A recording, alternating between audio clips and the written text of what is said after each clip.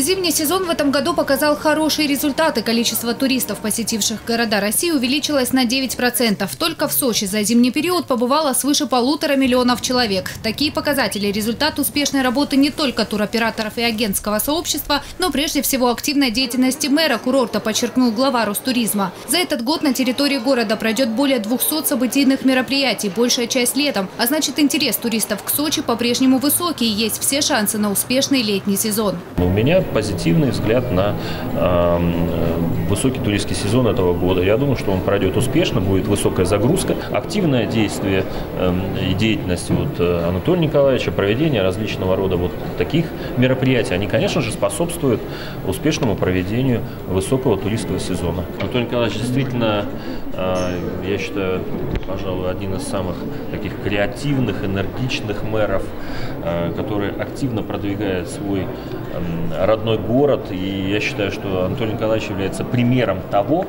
как нужно развивать и продвигать туристскую индустрию в масштабах всей страны. Сейчас на правительственном уровне решается вопрос по расширению возможности использования электронных виз, ведь большинство иностранных туристов испытывают сложности при поездках в города России. При этом Анатолий Пахомов отметил, что Сочи в первую очередь курорт для россиян. Этим летом в южную столицу полетят не менее 30 дополнительных чартерных рейсов из крупных российских городов. В активной разработке направления из Европы Сочи интересен иностранцам, поскольку предлагает безопасный отдых, интересные и доступные пакетные туры. Интерес огромный к Сочи. И этот интерес э, и из других стран, и мы этим дорожим, гордимся, стараемся, чтобы он и продолжался, но при этом приоритет отдадим российскому туристу. Событийных мероприятий много, очень много, да. очень много. Это тоже турпродукт, это тоже продвижение нашего курорта, и вот это создается как раз для этих целей.